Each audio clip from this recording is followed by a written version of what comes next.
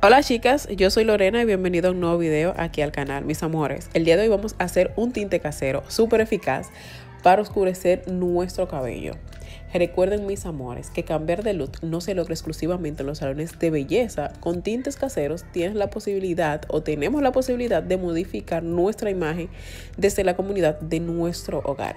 Así que mis amores, les tengo que decir además que los tintes caseros ofrecen el beneficio de nutrir a profundidad la cabellera mientras conseguimos el tono que tanto deseamos.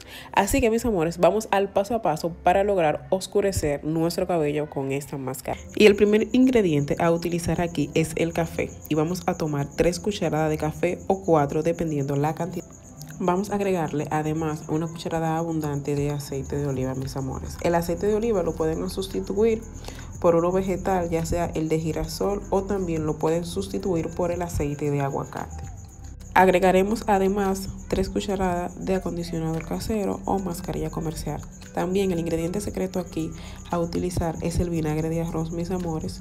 El vinagre de arroz lo usan muchísimo los coreanos y las asiáticas como último enjuague de su cabello para que estos siempre se mantengan así de brilloso y hermoso.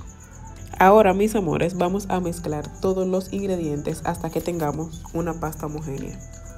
Mis amores, ahora pasemos al modo de uso. Es súper fácil. Esta mascarilla la vamos a aplicar antes de lavar nuestro cabello, antes del shampoo y vamos a durar con ella 45 minutos.